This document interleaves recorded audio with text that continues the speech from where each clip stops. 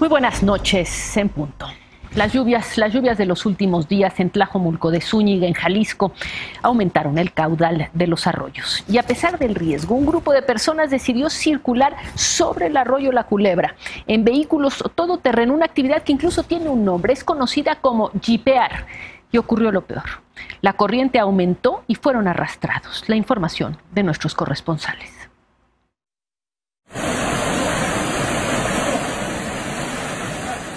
Ese día en la mañana había, si pides las grabaciones de ese día de las casetas, vas a ver unos 30, 40 vehículos eh, subiendo por esa zona, muy temprano.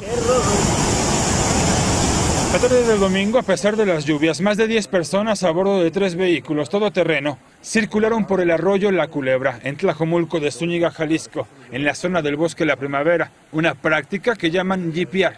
Los vehículos fueron arrastrados por la corriente. De inmediato comenzó el rescate.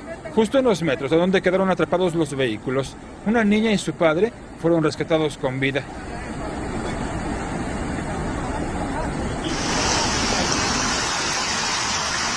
La misma tarde del domingo, los cuerpos de dos mujeres fueron encontrados a un costado del arroyo, en el camino real a Colima. Aquí se hizo boca de botella, se taponeó el arroyo y aventó dos cuerpos. Sí fue algo eh, dramático y traumático. Eh, dos cuerpos que al parecer los traía desde Jardines de Santa Anita, arrastrándolo alrededor de unos eh, cuatro kilómetros. Más de 400 elementos de protección civil del Estado y del municipio recorrieron el cauce apoyados con un helicóptero.